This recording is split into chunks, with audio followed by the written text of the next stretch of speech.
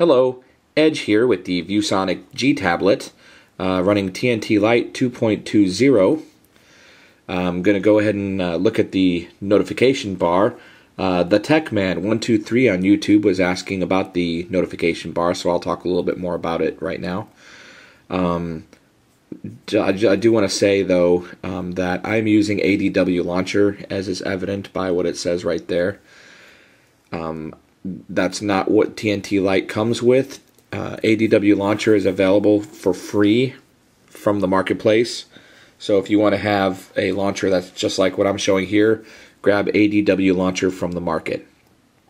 Now, um, there's also another fix I made, which uh, to this, which allows for this home button to actually work as a home button, so that if I'm in, let's see, yeah, if I'm in my email, for example, you can press that home button and it takes you back home again. That's not enabled by default. It is in the 2.2.1, but not in 2.20, which uh, which is what I'm running right here. Of course, the uh, menu button works, and also the back button works. So if you need to go back for any reason, you can use the soft button to do so. Clicking on time doesn't do anything. Now this is the um, your alerts, and this is where, for example, right now my G tablet is connected to the computer. I have debugging on because of all the stuff that I do. Um, right now it says USB connected. Select to copy files to and from your computer. Um, also, of course, it goes tells me about my email, a party that I had tonight, uh, that I have Gmail that it was uh, I, up, I updated the application to the latest uh, version today. Now, USB connected, if I select that, it says USB connected, turn on USB storage. I push that right there, and as soon as that happens, it starts connecting to my computer.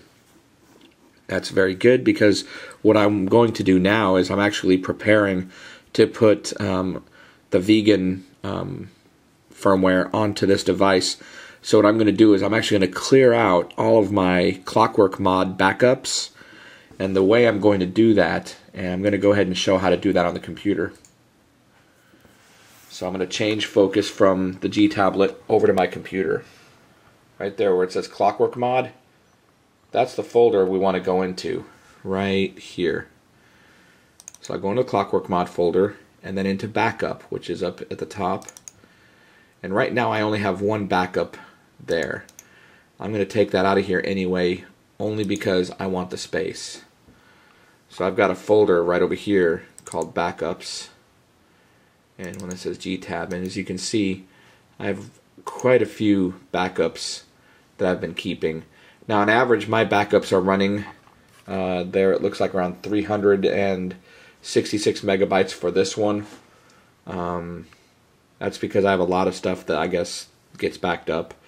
Um, as you see, it goes pretty quickly. I mean, this is transferring right from the G tablet right now.